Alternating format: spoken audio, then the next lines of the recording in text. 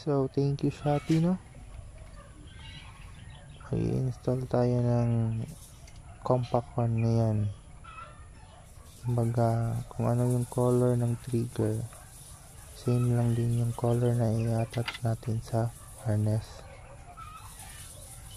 So, very, very e- easy po.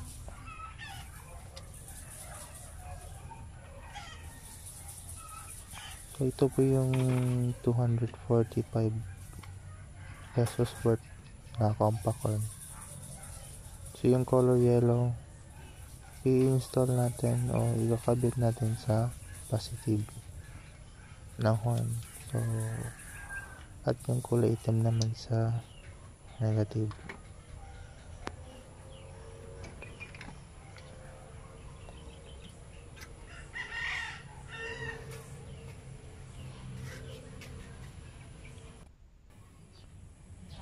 So dito ko lang kinabit banda yung tinatawag nila na ground.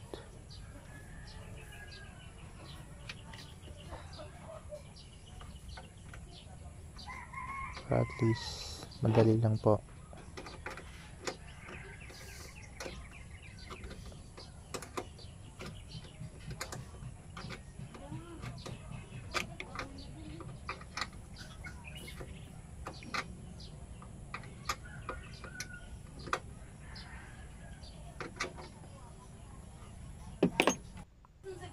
So after ni-remove ko yung air duct.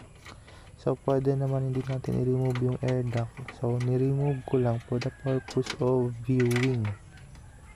Para at least kung gusto niyo kung gusto niyo liyahin yung steps ko. Uh, kita niyo kung saan ko ba banda ilagay o ilagay yung yung relay po.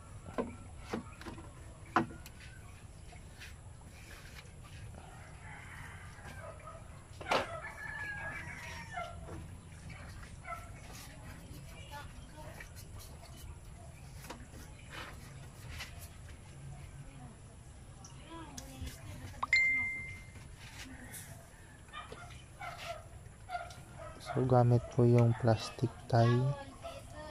So, may butas po yan yung banda. Diyan ko lang po kinabit yung relay natin.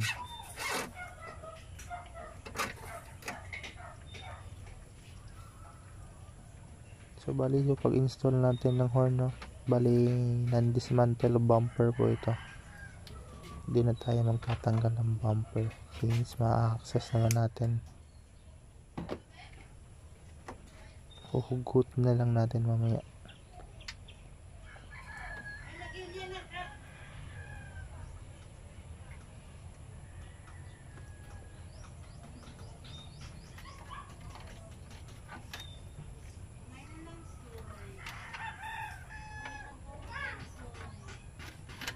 So, i-arrange natin yung harness para at least malinis.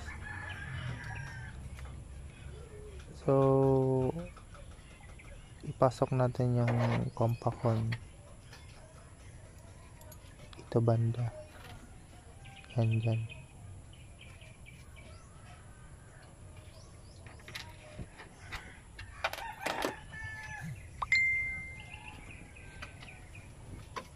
So, sa pag-install ng horn, no, uh, para kung same position lang ng stock, kung ano yung position ng stock na pagkakabit, ganun lang po din yung pagkabit natin.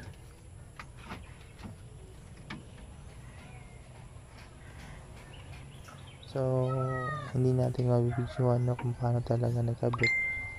Since, mahirap mag-video dyan na part. So, basta, same lang din same lang po sa pagkabit ng stock horn natin. Kung ano, kung ano kung ano po yung position ng stock horn ganun lang po yung pagkabit sa compact horn natin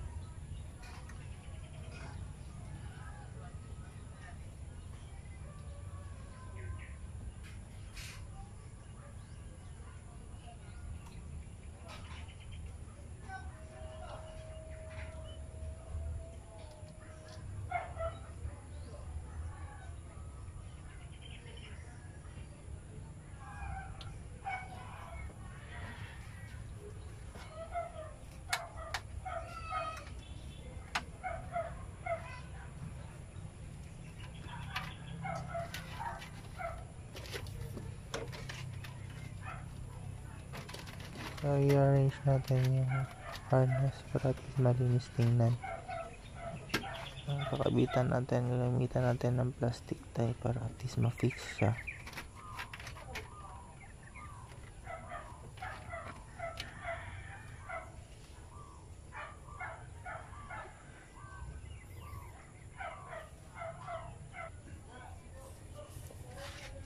So ayan, dito natin i-kakabit yung wire na kulay pula na nagsisilbing positive na may kasamang fuse 30 amperes na fuse po. So baka magtataka kayo mayroon pang isang pula. Yung isang pula po is yan po yung nagsisilbing wire din ng pag light natin so sayang nga lang na hindi ko na hindi ko na ma-retrieve yung video ng pag light paano siya in-install? So para ka lang din nag-install ng con. Kasi naka-harness na din yun siya. So kumbaga no void of warranty. Kasi direct battery naman siya. Yung pag-install natin hindi naman tayo nag-splice so hindi mo-void yung warranty natin when it comes to electrical. So dyan ko lang nilagay. Dyan ko lang tinap yung positive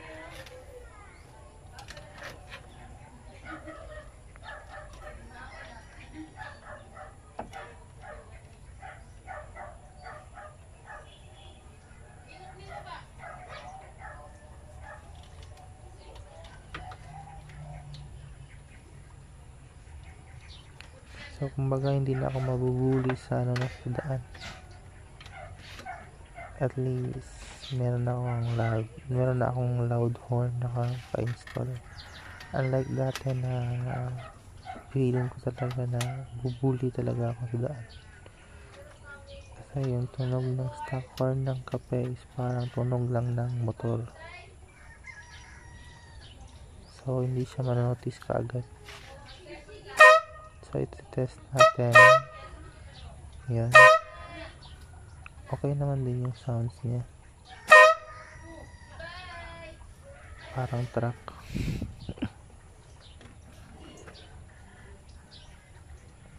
so, ganun lang po. Ganun lang po ako mag-install ng corn. So, baka gusto niyo gayahin, napakadali lang po. As long as meron kayong harness with relay